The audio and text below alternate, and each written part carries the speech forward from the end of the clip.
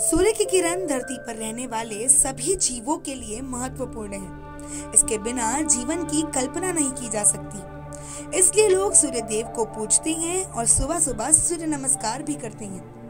पूरे देश में कुछ ऐसी जगह है जहाँ सूर्य भगवान के मंदिर भी है। ऐसा ही एक अनोखा मंदिर जयपुर के गलता गेट पर अरावली पर्वतमाला की पहाड़ी पर स्थित है।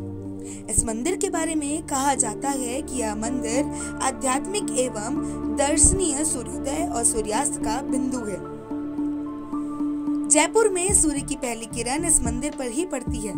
मंदिर में भगवान सूर्य देवता पर ही पहली किरण पड़ती है। उसके बाद प्रातःकाल सूर्य देव की पूजा की जाती है और शाम की आखिरी नब्बे अंश की किरण भी इसी मंदिर पर पड़ती है। मंदिर में सूर्य भगवान के साथ उनकी पत्नी रेणुका जी का विग्रह भी स्थापित है और दूसरे विग्रह में सूर्य देव झूले पर विराजमान है। सूर्य भगवान के इस मंदिर के महंत मदन लाल शर्मा बताते हैं कि पहाड़ी पर बने इस सूर्य मंदिर का निर्माण 1700 ईस्वी पूर्व में महाराज सवाई जय सिंह के दूत श्री राव कृपा राम जी के द्वारा बनाया गया था। यह मंदिर 300 साल पुराना है। महंत मदन शर्मा बताते हैं कि महाराज सवाई जयसिंह रघुकुल वंश के सूर्यवंशी थे और भगवान सूर्य की पूजा किया करते थे।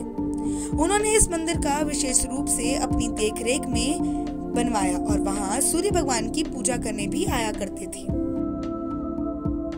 सूर्य भगवान का मंदिर ये 1700 ईस्वी के अंदर सवाई जय सिंह राजा के द्वारा उनके एक दूत थे राव कृपाराम जी।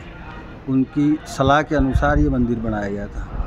ये ऐसे स्थान पर बनाया गया है, जो पहाड़ी की ऐसी ऊपर का शिखर है, जहाँ पर सूर्य उदय होता है। तो उसका किरण पहले सूर्य भगवान का जो मंदिर है, उस पर जाके गिरती है। वहाँ से फिर उसके बाद में जैसे सूर्य ऊंचाई पे आता है, तब पूरे जयपुर शहर के अंदर सूर्य का प्रकाश जाता है।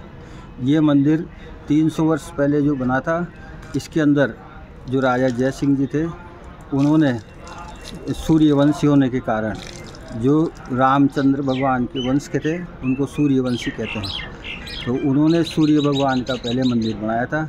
फिर उसके बाद में जयपुर के अंदर जो सिटी पैलेस और जयपुर का स्थापन है, वो किया गया था। सूर्य भगवान बारह राशियों के ऊपर हर महीने भ्रमण करते हैं। जो अपने ग्रहों के अंदर बारह राशियाँ उसमें मुख्य रूप से जो मकर राशि होती है वो जनवरी के महीने में आती है। उस समय सूर्य का बहुत बड़ा प्रभाव रहता है।